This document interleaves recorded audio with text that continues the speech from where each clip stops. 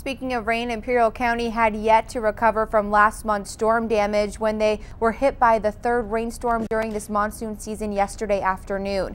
With a quick summary of yesterday's aftermath, here's KSWT News 13's Jose Martinez.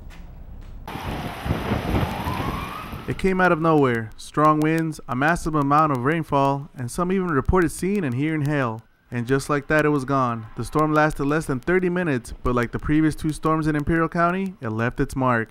In this commercial area in El Centro, people leaving work had a hard time getting to their cars as stormwater blocked them from even crossing the street. In Imperial, the windstorm knocked over this tree on the corner of North Imperial Avenue and Barioni Boulevard. With all the rain and strong winds, the tree was completely uprooted from the bank it was on and landed on a parked car.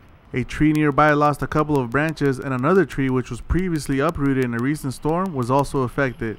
Linda Trim works in the business center. She shows concern over the cars that park in the lot surrounded by trees. I park my car in the back, so there's no trees there, but there are power lines. Yeah, I am. It's we've never had those big of winds come through here like that. Um, Dr. Collada's people park here, so their patients, yeah, they, all these trees could fall on their patients' cars. It's bad. Back in El Centro, this stump is all that is left of a tree that fell over during yesterday's storm. A neighbor described the tree falling as a big boom, like a cannon going off. North of that residence, a fire destroyed a home after stormwater got into the waterhead and caused the house to catch fire. Three teenagers were inside the house when the fire started, but they were evacuated and suffered no injuries. Imperial County Fire Captain Chad Whitlock tells KSWT that his firefighters ran into several obstacles while fighting the fire. Difficult time fighting it uh, due to the uh, added addition that they had done to the residence.